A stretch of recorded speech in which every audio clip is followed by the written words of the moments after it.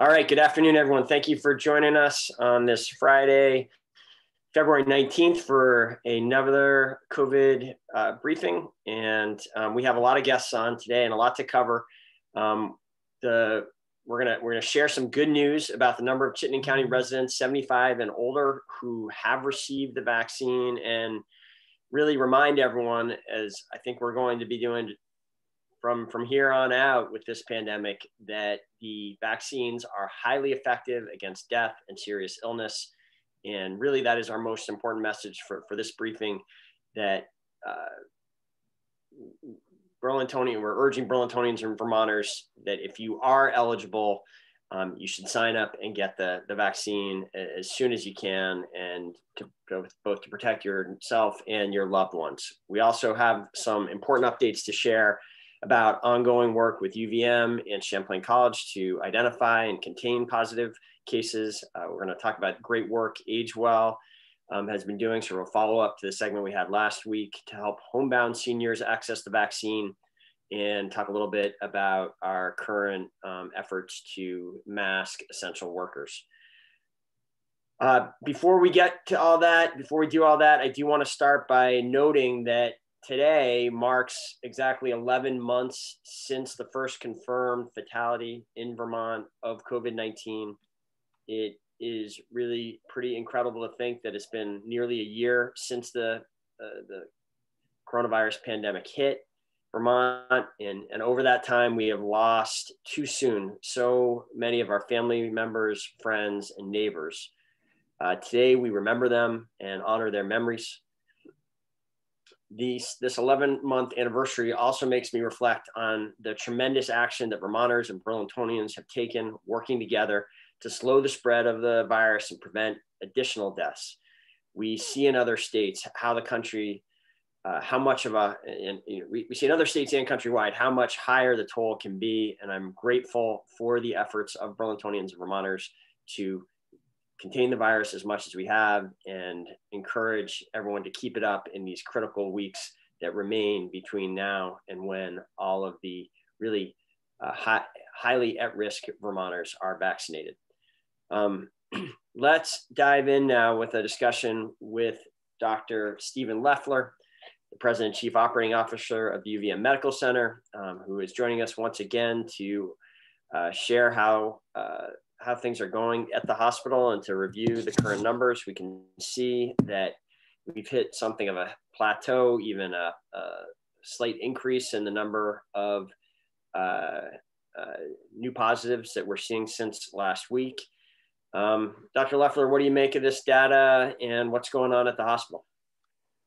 I mean, if you look across the country right now, Miro, across the United States, COVID cases are actually declining pretty rapidly.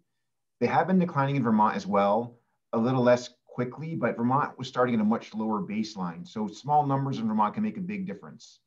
Um, what I can tell you is the outbreaks we're having in our nursing homes, long-term care facilities, places like that have pretty much stopped since we've gotten those populations vaccinated.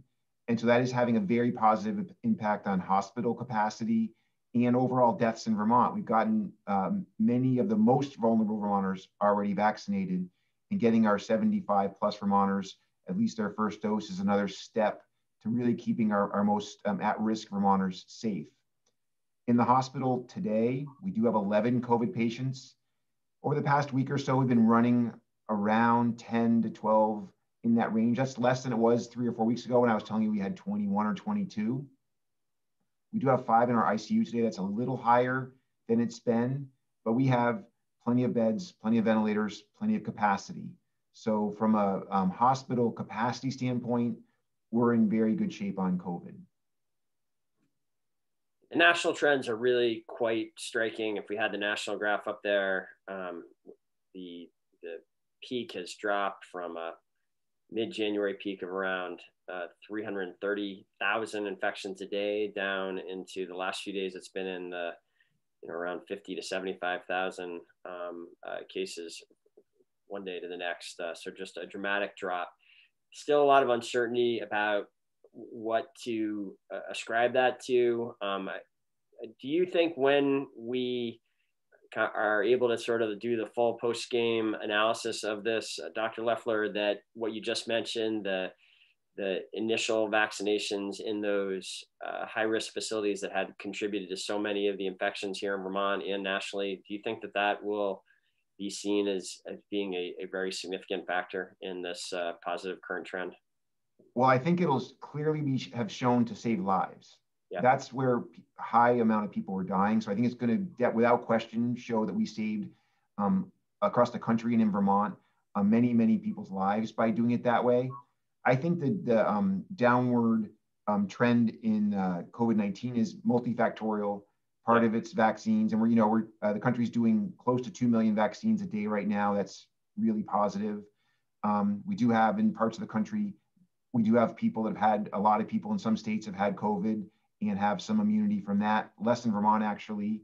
Um, the weather is getting better across the country. There is seasonality to this. Um, and so I, I do think there's multiple factors at play. But when you add them all up, it's very encouraging that we're moving in the right direction. So Steve, let's stay on vaccinations a little bit. We've even as we hit the 11 month mark of the pandemic today, we also reached two new milestones, hopeful milestones this week. First, uh, 60% of those 75 and older in Chittenden County have now had at least their first dose. Um, and we know that having a first dose really starts the process of uh, inoculation within a few days. And even just that first dose can provide significant protection. So 60% of Chittenden County residents 75 and older have hit that threshold. Um, monitoring and supporting this effort, um, however we can, is a, is a huge priority for the city, and we'll, we'll talk a little bit more about that. Also, this week, the state expanded the number of people who are eligible to receive the COVID 19 vaccine to the 70 and older category. And um, uh, my understanding is uh, half of those eligible have already signed up. Um, Dr. Leffler, what do you what do you make of these milestones?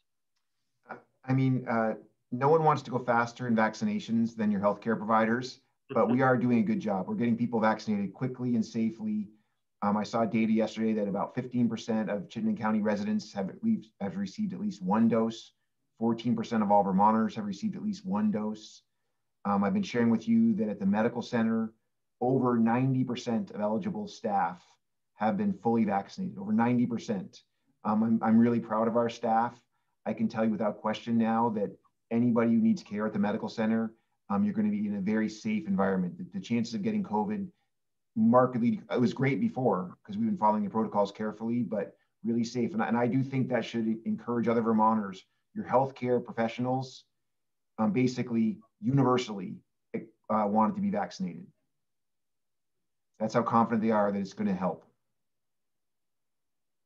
One thing we've talked about before uh, on the briefing is just how remarkably effective these vaccines are um, and how some of the discussion about it has kind of understated that um, in that uh, I think it's underappreciated how almost basically, for all intents and purposes, 100% of the people who get the vaccine are protected from death and serious illness. Almost no one in the clinical trials. I think one out of 75,000 people who received the uh, vaccine during the clinical trials ended up hospitalized. Um, nobody died as a result of side effects.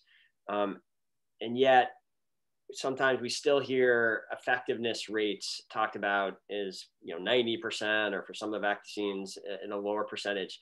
That's effectiveness about any level of uh, of, of infection and and uh, symptomatic um, uh, carrying of the the disease symptomatic symptomatic you know showing symptoms of covid. Do you, are you encountering confusion about this as you uh, as people come into the hospital, as people consider getting vaccinations? Are you worried about people not understanding how effective these vaccines are? We have been talking about that a lot. And so, and you raise a really important point.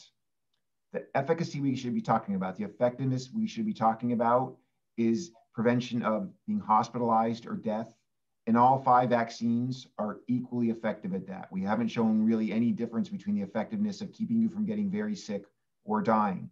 There seems to be some difference between getting a runny nose, but that really is not a huge issue for anyone. Most vaccines that we know about in the world, um, if they had efficacy rates as good as any one of these, they would be seen as some of the best vaccines ever. So I, I do want everyone listening today to understand that when you get when it's your turn to get vaccinated, whatever vaccine is available that day, you should say yes and be thankful and know that getting that vaccine markedly reduces your risk of death or dying from COVID. So um, I think it's very likely that in the near future we'll be getting Johnson and Johnson vaccine, which is a great vaccine because it's one dose, which is great news. It's easy to store, which is great news. So it won't ever have to be wasted like we do with some of the more complicated ones.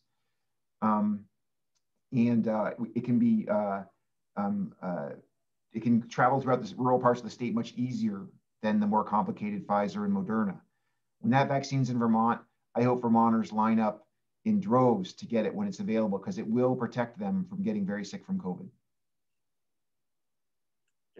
Good. I mean, I, Dr. Leffler, I almost feel like we're having an inverse issue with the beginning of the pandemic when um, there was this tendency in a lot of media accounts to to suggest that it didn't matter if you got infected unless you died or, or hospitalized, that it was only the most serious uh, cases that were treated as having any impact. Um, and there was sort of an understatement of the significance of, of infections. And now it's, uh, it feels to like the inverse of that. And, and it's harmful if, if people don't understand it. Anything that contributes to vaccine hesitancy um, uh, is, is, a, is, a, is something that can slow down um, the pace with which we get through this. And, and, and ultimately result in more more deaths if there are people who should be can be getting the vaccine who are, who are not getting it. Um, is, is there anything else on your mind today that you want to leave us with before we let you go? I want to let you know that you know uh, the medical center we've vaccinated more than 6,500 people um, without any serious side effects, and we've seen our staff infections. And what you should know is our staff are catching their infections in the community like everyone else because they are community members, and they've completely dropped off. We're not having any more staff infections. Um, and we're look, and if you look at our nursing homes now, the infections have basically dropped to almost zero, and uh, that shows how well these vaccines are working. And uh, um, getting vaccine is not only good for you, it's good for the people that are around you. Um, without question, if you get very sick from COVID and you're coughing and sneezing, you can spread COVID. And they haven't 100% proved yet the vaccines don't prevent you from spreading it, but the evidence is getting better every day. And I think we're going to hear soon um, that they are confident in the protection of being vaccinated from spreading it. I think the news from the CDC last week that um, if you've been fully vaccinated and you're exposed to a COVID positive patient, you don't have to quarantine is very um, encouraging evidence the CDC does not believe you can spread COVID because if they thought you could, they would make you continue to quarantine. So I see that as the first step in the process of, of really being certain that COVID vaccine not only protects you, it protects people that you're with that has do you believe that that finding ultimately it'll probably take a little while to kind of uh, sugar off but is going to would, which should inform some of our other quarantine policies in terms of people who have been vaccinated traveling here and whether or not they need to continue to, to quarantine? Is, is that uh, the governor just announced just announced a couple hours ago that if you've been fully vaccinated um, you don't have to quarantine coming into or leaving vermont or when you come back Oh, that's and great. So I think that. That there's a risk of having the briefing on the same day as the governor talks. He just he just announced it because um, uh, I, I, heard it from a number of people here. And okay. so to your point, um, that's a very strong positive reason for people to get vaccinated. Um, the, That's a big deal, a big shift. Yep. And it proves the science is very confident um, in that your risk of spreading COVID goes way down after you've been vaccinated. Great. Well, let's let's hope there's real focus on that um, and not continued focus on this uh, increasingly smaller uncertainty uh, about a transmission risk um, when when you've been fully vaccinated. So great, thank you, uh, Dr. Leffler, once again for for coming on and helping us uh, understand uh, these these challenging times. And uh, thank you for everything that's that's happening. Um, my my pleasure. We'll see you soon. Very good. Okay, we're we're pleased now to to welcome um, back to the briefing uh, Wendy Koenig, who is the director of federal and state relations at the University of Vermont. I think we maybe need to add to that title, uh, Wendy, like uh, city relations too. The amount of time you've been spending talking. Uh, city, city maybe maybe true. Also, Gary Derr, uh, Vice President for Operations and Public Safety at UVM, uh, is with us, and Danelle Berube, the Vice President for Student Affairs and Institutional Emergency uh, Management Coordinator at Champlain uh, College. Um, Danelle, uh, welcome back. I hope I didn't um, misstate your, your last name there. I think I, I, hope I got the first name right this time. Um, no worries, no worries. Uh, so welcome back. Uh, they all joined, all three of these officials uh, joined us about a month ago on January 22nd in advance of the return of most students to the campus for the start of the spring semester. And now that we're several weeks into that semester, um, we wanted to in, invite you all back to uh, share an update on how things are going with respect to surveillance testing, identifying individuals who have contracted COVID-19, boxing in the virus, um, especially, uh, you know, I know we, uh, as anticipated, there has been a greater challenge in some ways uh, this semester given the greater prevalence of, of the virus. So why don't we start with UVM, Wendy, Gary, um, uh, what can you share with us today? Uh, so thank you very much, Mayor. Um, uh, and we're happy to be back and be a part of this conversation here. Um, uh, what you just said is exactly what we've experienced and what you confirmed with the chart that you showed in Chittenden County is that we are seeing a higher prevalence of positive cases on campus. Uh, we fully expected that. Uh, it is mirroring the trends uh, in Chittenden County in Vermont and across New England. Um, we feel confident about those numbers. We feel like we've got them under uh, control. Um, also, I think what it's important to remember, and you mentioned this as well too, the surveillance testing we're doing. And we continued that commitment and successful program that we had all of fall semester. We've been testing on average about 12,000 students a week. Uh, that gives us the ability to quickly identify individuals uh, who may test positive uh, and then work with them to isolate them, but also to do really effective uh, um, uh, contact tracing and working then to quarantine those individuals who may be close contacts that. The other thing uh, we mentioned earlier this week and we informed the folks is that we have testing available seven days a week uh, on campus. Our testing center is open Monday through Friday, uh, and we've expanded those hours. We've expanded testing for those populations that work odd shifts, like the late night shifts, and they can't come in um, in the morning to do the tests. We've made tests available to them. But most importantly, we've also uh, adopted the use of the rapid testing, the antigen test, as a way to initially screen people who may be uh, symptomatic who we're not sure what they what their uh, diagnosis might be, but it helps us identify those people that are uh, potentially positive and move them quicker into isolation while we wait for a confirmatory uh, PCR test there. The other thing that, and this is a, a, model that you used for the summer as well, which was really to uh, box in the cases. Um, we looked at our data recently and what we found is that of our new positives, and this has continued since we shared this data, about 60% of our new positives came from students that were in quarantine already. Now that might seem a little concerning, but on the other hand, that's really good because these are students that were not out there, part of the population and out on campus, they were already in quarantine and because they were exposed because of a close contact. And we moved those students then into isolation. And that trend seems to be continuing. And we're, we wish there were fewer of those, but at least we're glad to see that those people are contained in a quarantine situation there. Um, and that's, that's similar with the off-campus uh, uh, test results, but it's been a little bit smaller of a population in positive off-campus this semester.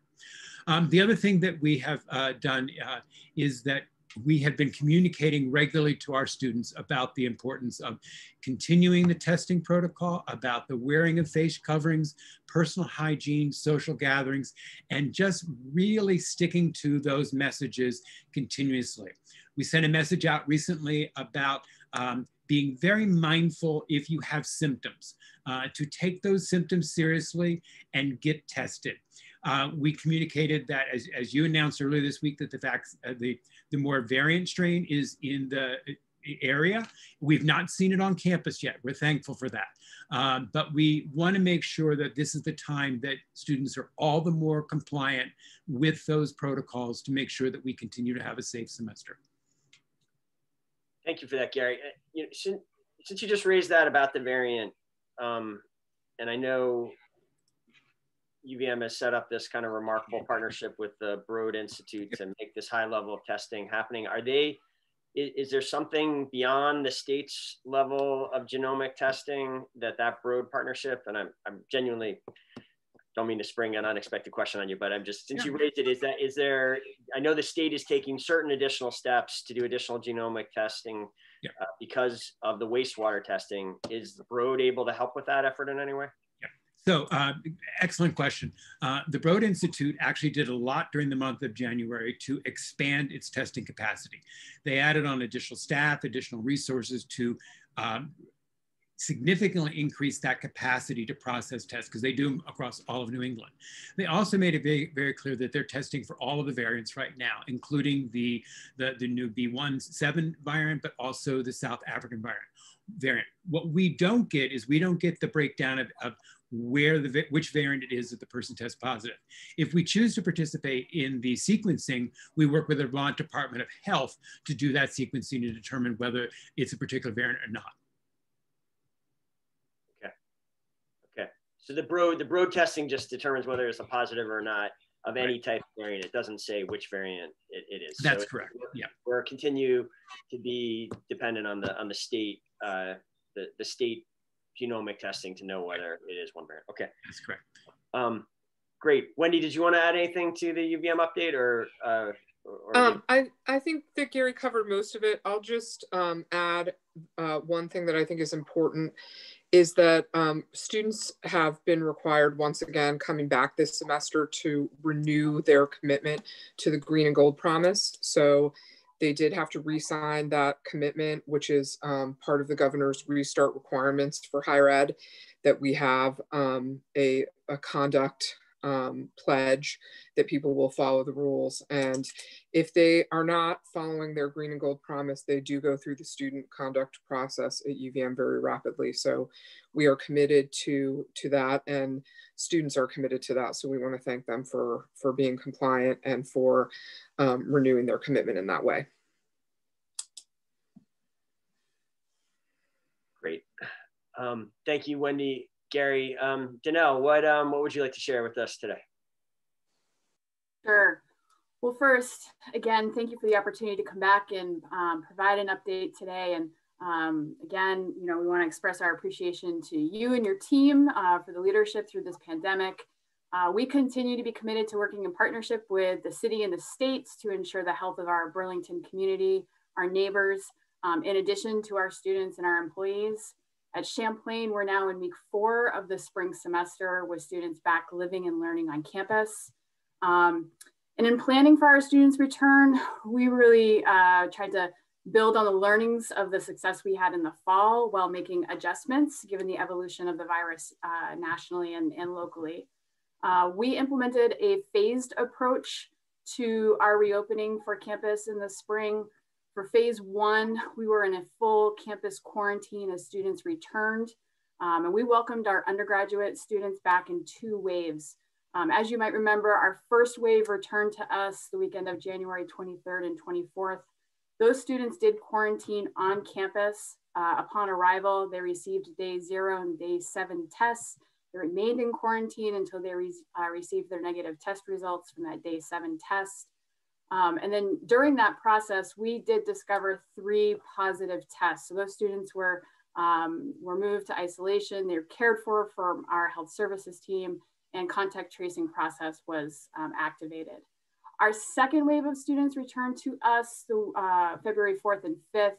These students did complete a quarantine. They did that at home and we did require um, these students to conduct a pre-arrival test and submit a negative test result prior to their return. Um, and then when they did return, we also gave them a day uh, zero test upon arrival and they quarantined until they received a negative test result back. Um, for Champlain, our classes began on January 25th with the first two weeks being exclusively um, virtual. And after those two weeks on uh, February 8th, uh, we kind of entered phase two of our reopening. Um, and that, at that point, faculty uh, began offering in-person instruction and in-person services and activities um, became available. For example, students could begin occupying uh, our common spaces on campus while distanced and uh, wearing masks. Yesterday, we actually um, entered phase three where we um, offered students our definition of households that were specific to the wide variety of housing styles that we offer. Um, those definitions are, uh, of course, in alignment with the state guidance, but do give our students a little bit more um, interaction with their peers in the residence halls, um, which, which has been important. We continue to implement many of the measures that served us well in the fall. That includes um, continuing with a de-densification of our residence halls, the daily uh, health screenings, and then our weekly surveillance testing for all those living or interacting on campus. And of course, we continue to educate our students and enforce um, our, our health pledge. Um, at this point, we've conducted about 3,400 tests and have a positivity rate of 0.09%. Um, and again, uh, our three positives were from that first wave of students. And um, we, we haven't had another positive yet. Um, you know, the other thing that I would offer too is that uh, we continue to post information on our website uh, and our COVID dashboard was recently reformatted. Um, our hope is that that really communicates uh, our information from our campus clearly to our community um, about where we're at this semester. And of course, we continue to monitor the national and local landscape of the virus and we'll continue to make any adjustments needed as, as we go along. Excellent. Thank you, Dana. Um, here are my, my thoughts on this um, after uh, my team uh, and I looking at this, consulting with uh, with our partners, talking with uh, I talked with Dr. Levine about the uh, the the situation on the campuses um, yesterday, and you know basically here's where we're at. As a city, as we committed, we are following the testing numbers closely at UVM and Champlain, and we are in regular communication with with those parties I just listed higher case numbers than the fall semester are expected, as uh, as as Gary and Wendy indicated. Um, you know, just that is a function at some level of the higher prevalence of the virus now in in Vermont and in the community than it was last fall. Um, even so, uh, 46 positive cases uh, in a week between February 8th and February 14th is, is notable, certainly in contrast to the fall. And we're continuing to monitor closely the efforts of the, both colleges to identify and contain the virus. Um, for now, the indicators that we're really focused on are the rate at which positive cases are increasing.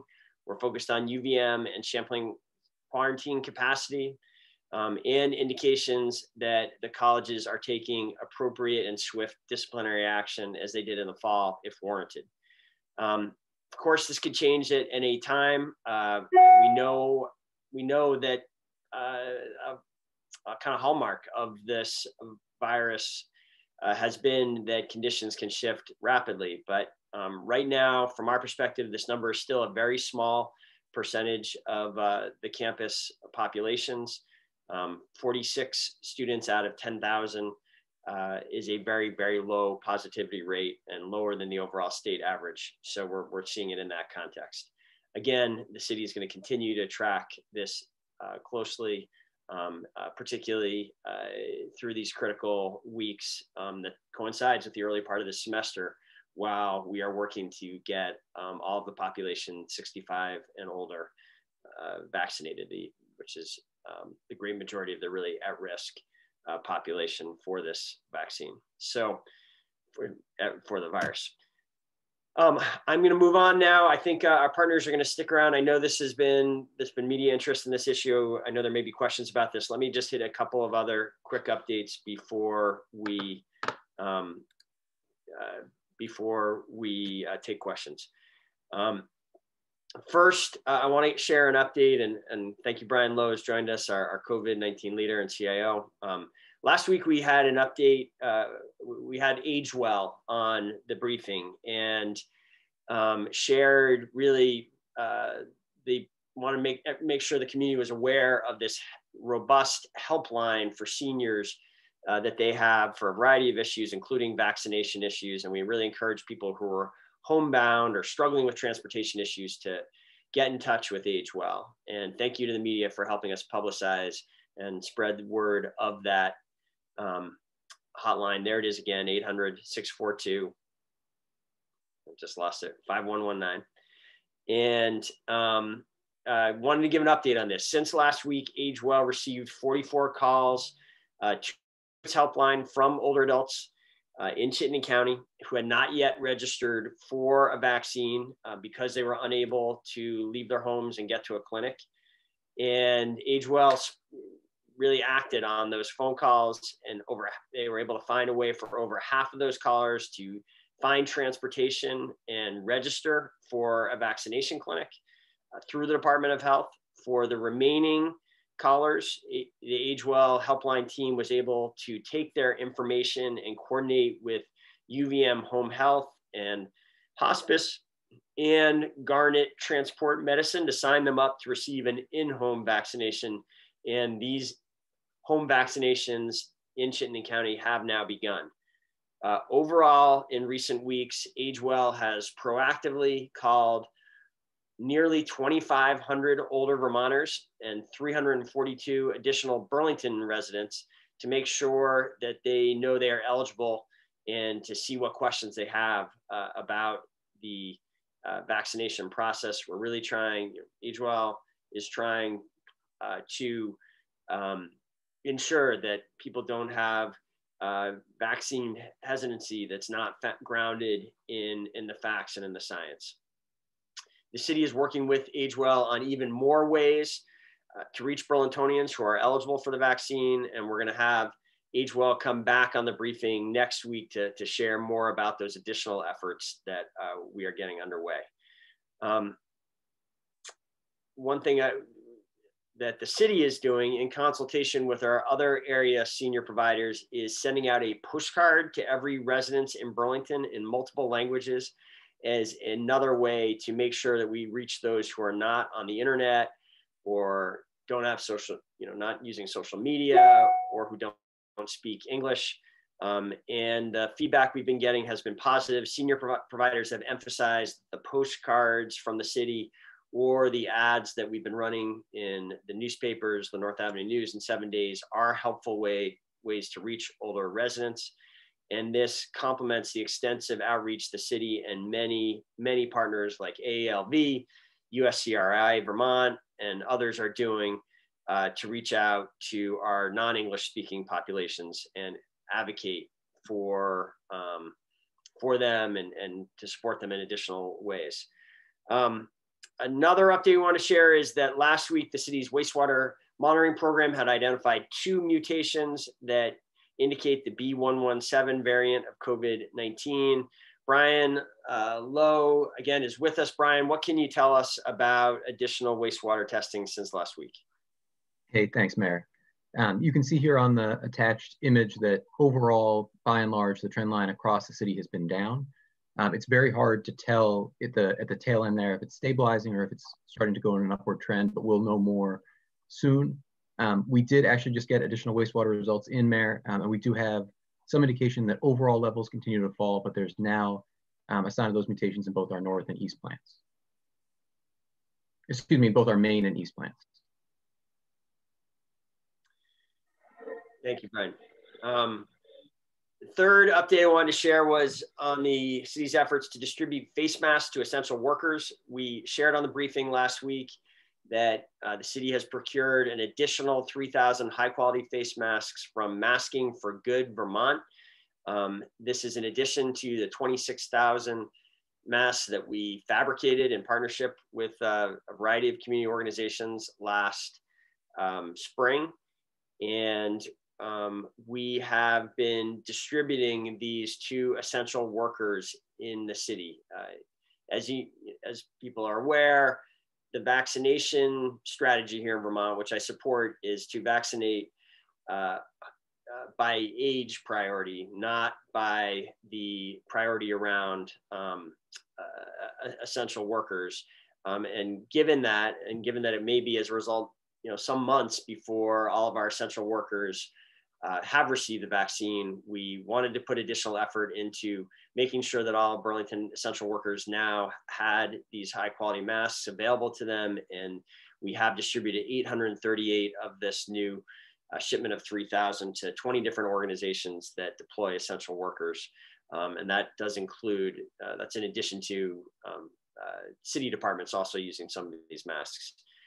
Um, and that is a photo there of uh, this one of the city teams delivering masks on North Street earlier this week.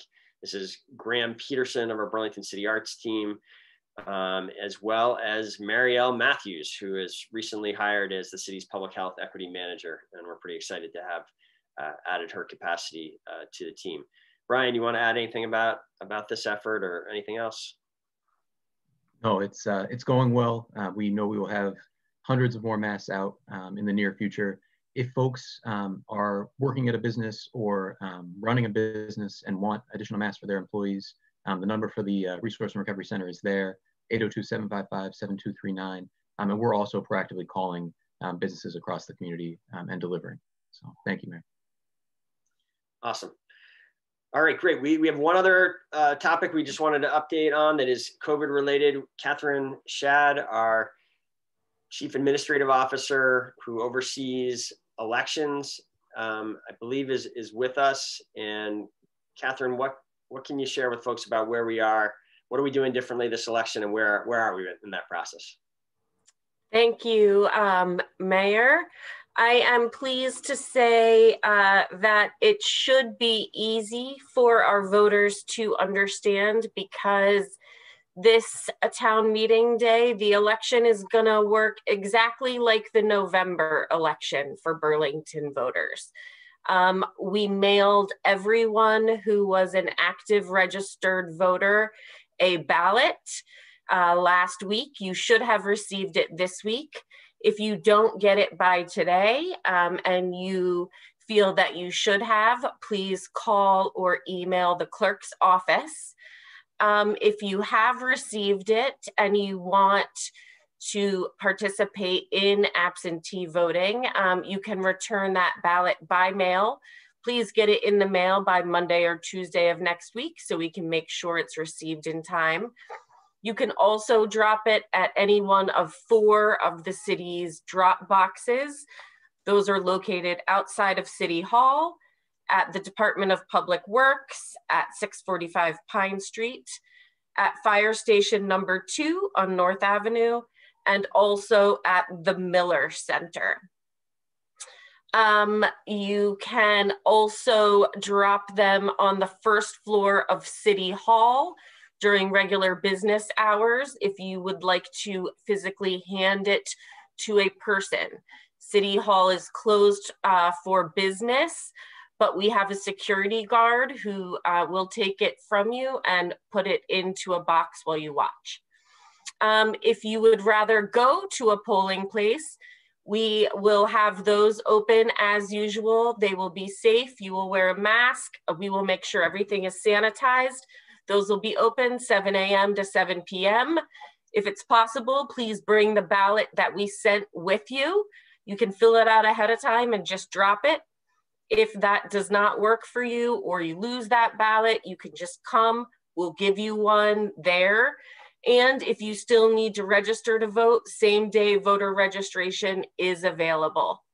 If you have any questions, don't hesitate to call the clerk's office or as you can see here, there is a website and there is a lot of information there. Awesome, Katherine. Thank you for all the additional work that you and your team are doing to make uh, this local election happen smoothly, like last November's general election.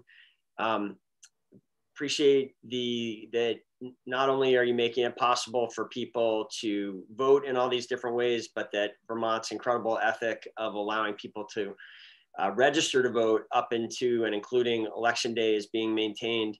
Um, so well, what does someone do if they uh, want to vote early? They don't want to. They don't want to go to the polls on election day, but they haven't registered yet. What what what do we recommend those people do? If you go to that website, um, you can actually register to vote online. Um, and if you do that anytime up until the 24th, we can still mail that ballot to you. We'll do that automatically. Um, if that doesn't work for you, you can print that out and you can mail it back to us. If that doesn't work or you don't have a printer, just call us up at City Hall and we will find another way. That's great. Thank you again, you and our elections uh, uh, clerk, uh, Amy Bovey, for um, everything that you guys have done to make good on this idea that voting should be um, as easy as possible for as many people as possible. And um, uh, let's, uh, yeah, let's uh, let's hope the rest of it goes goes smoothly. And um, oh, I, and and and in addition, um, finding a way to minimize the impact on on any local budgets by going out and, and finding grant funds uh, to to help with these additional measures. So it's uh it, has been really appreciated. Thank you. All You're right. Welcome. With that, um, Olivia, would be happy to answer uh, any questions that there are. Great. So reminder for members of the media who are called in, you can let me know that you have a question just by emailing me. And the first up is Erin from WCAX. Erin, you should be able to enable your microphone. Hi, Mayor Weinberger. C can you hear me? I can, Erin. Go ahead. All right. Um, so yeah, we just wanted to talk about um, the Vermont Racial Justice Alliance and their recent demand um, to change the Champlain Parkway. They're claiming that it would negatively impact uh, BIPOC and low income neighborhoods, um, specifically in the Maple and King areas. Um, so we just wanted to um, see what your response is to that and if you think that their claim is um, fe feasible and that it'll, um, you know, that, that their, that their um, demands can be met. Great, Erin, thanks for the question. So, so this is a question that we have just spent the recent um, uh, extended period going back months, uh, I believe all the way back to last summer or certainly the fall, um, studying and uh, as required by this federal process. And the uh, report that is coming out of that, the, the experts um, don't agree with that statement. Basically, the experts find that this is an area that is um, already impacted significantly by, by traffic.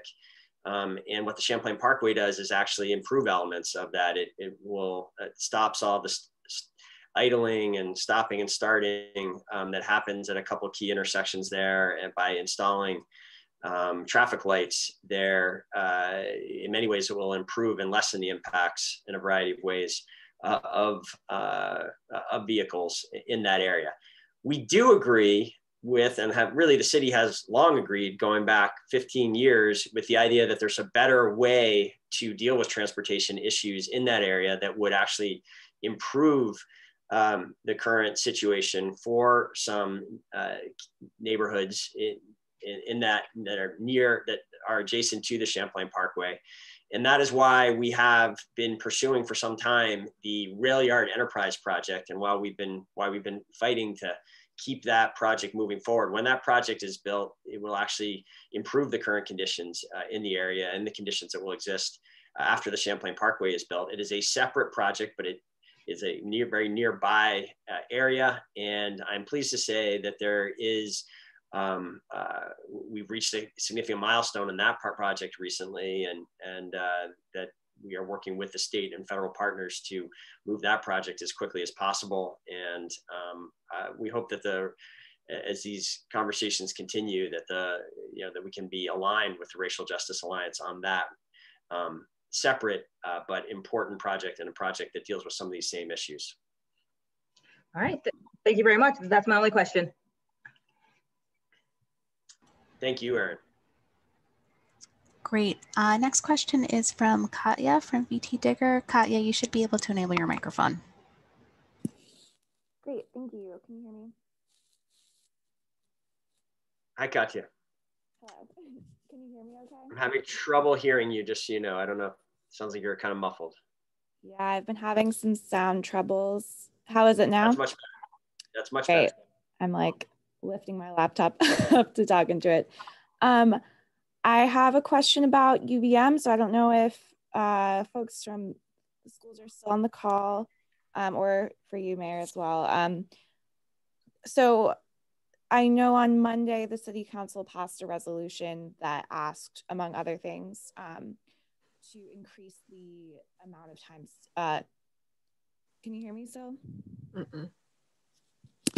No, no, we can't. Mm. I'm gonna email Olivia my question. that sounds good. Thanks, Katya. I will read it out as soon as I get that. All right, one second.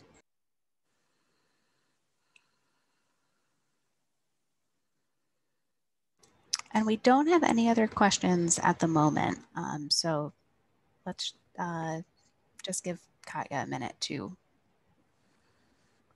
write the question out.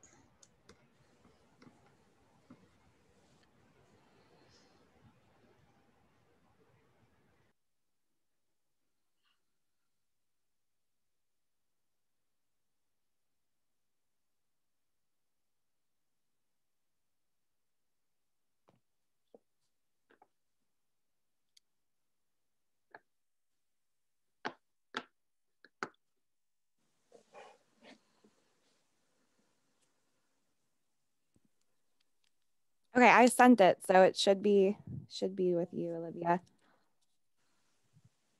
Perfect. Yes, I have it. Uh, so Katya's question is, does UVM intend to increase COVID data reporting after the after Monday City Council resolution that requested that, and would the mayor support that also?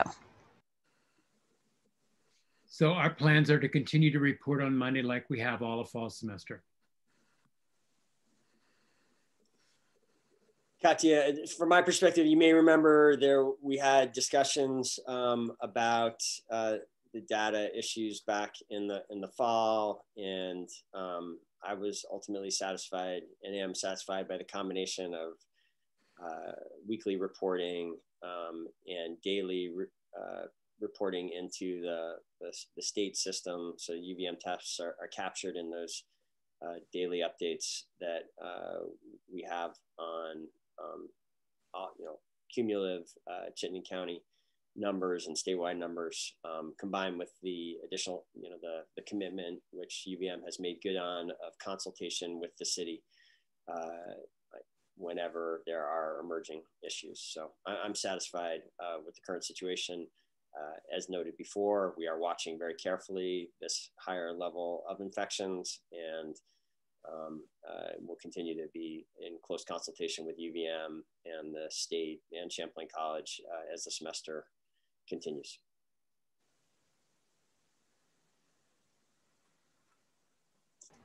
All right, Olivia, that's, uh, that's yes, uh, that's all the questions we have. Okay, thank you everyone for joining us today. I uh, wish everyone a good weekend.